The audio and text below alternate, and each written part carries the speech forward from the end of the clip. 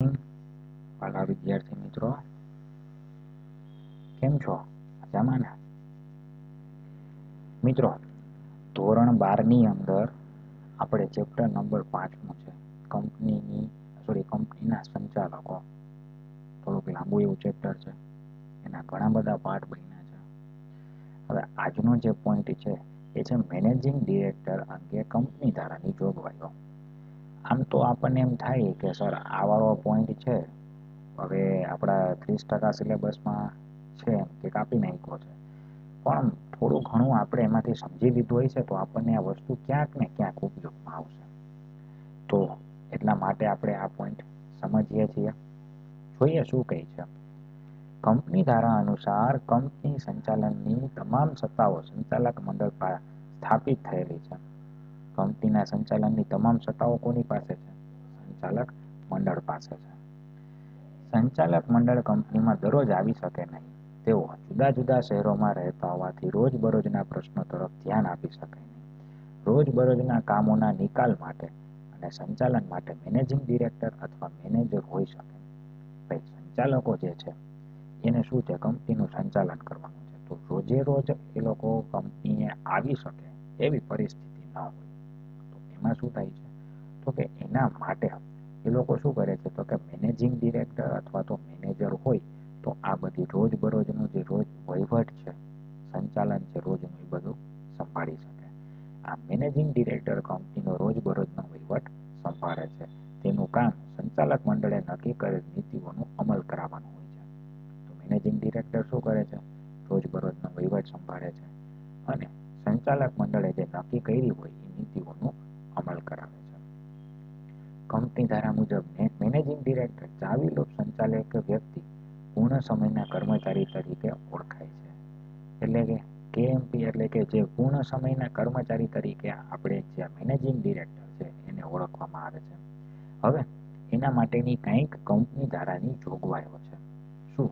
તો કે મેનેજિંગ ડિરેક્ટરની નિમણૂક કંપનીના નિયમન પત્ર અનુસાર થઈ શકે. કંપની સાથે સમજૂતીથી થઈ શકે.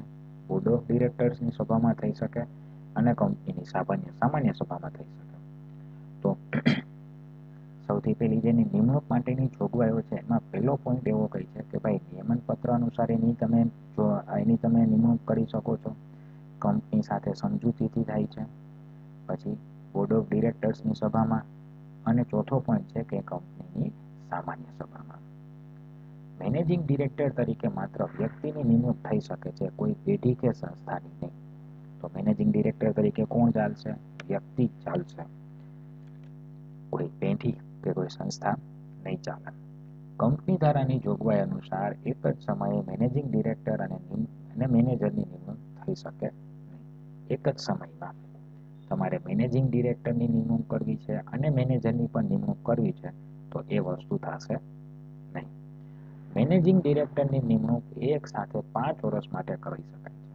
એટલે કે એક મેનેજિંગ ડિરેક્ટરને તમે પાંચ વર્ષ સુધી રાખી શકો છો.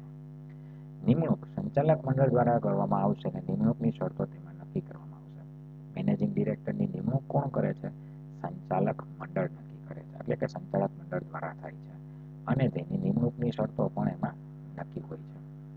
મેનેજિંગ ડિરેક્ટરની નિમણૂકની બહાલી કંપનીની સામાન્ય સભામાં મંજૂરીને આધીન હોય છે. એટલે કે એની મંજૂરી, તો કે સામાન્ય સભામાંથી એની મંજૂરીને આધીન છે.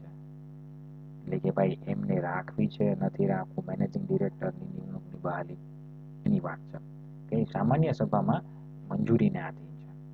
મેનેજિંગ ડિરેક્ટરની નિમણૂક મુદતના અંતે અગાઉથી કોઈ પુનઃ નિમણૂક કરી શકાય નહીં. એટલે કે નિમણૂક મુદતના અંતે તમે અગાઉથી એની પુનઃ નિમણૂક ન કરી શકો. જણાવેલ શરતોથી અસંગત નિમણૂક કરવામાં આવે તો કેન્દ્ર સરકારની મંજૂરી લેવી પડે શું તો કે જે કાંઈ પણ તમારી શરતો છે, એનાથી કંઈક જુદી અસંગત નિમણૂક થાય, તો તમારે કેન્દ્ર સરકારની મંજૂરી લેવી પડે. મેનેજિંગ ડિરેક્ટરની નિમણૂક થયાના સાઠ દિવસમાં કંપની રજિસ્ટ્રારને જણાવવું પડે ફોર્મ એમઆરઆઈમાં.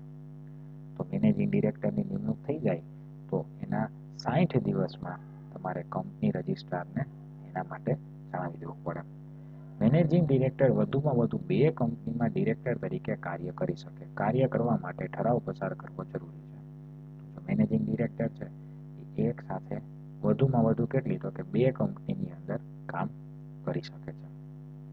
તો અહીંયા આપણે જે મેનેજિંગ ડિરેક્ટર છે, આ મેનેજિંગ ડિરેક્ટરની જોગવાઈઓની વાત કરી કે ભાઈ એની નિમણૂક કઈ રીતે થાય છે? નિમણૂક માટેની જોગવાઈઓ કઈ કઈ છે? નિમણૂક કોના દ્વારા થાય છે? એના માટેની શરતો. આ બધી બાબતો વિશે આપણે આ નિમણૂક સંબંધી જે પોઈન્ટ છે, એની અંદર વાત કરી. નાનકડો એવો પોઈન્ટ છે. આપણને સમજાઈ જાય એવો પોઈન્ટ છે. તો આ એની દસ જોગવાઈઓ છે. એની નિમણૂક માટેની. બરાબર છે મિત્રો? તો આશા રાખું છું કે આ દસે દસ પોઈન્ટ છે એ તમને સરખી રીતે સમજાઈ ગયા હશે. ઓકે મિત્રો. સારું, ચલો. Thank you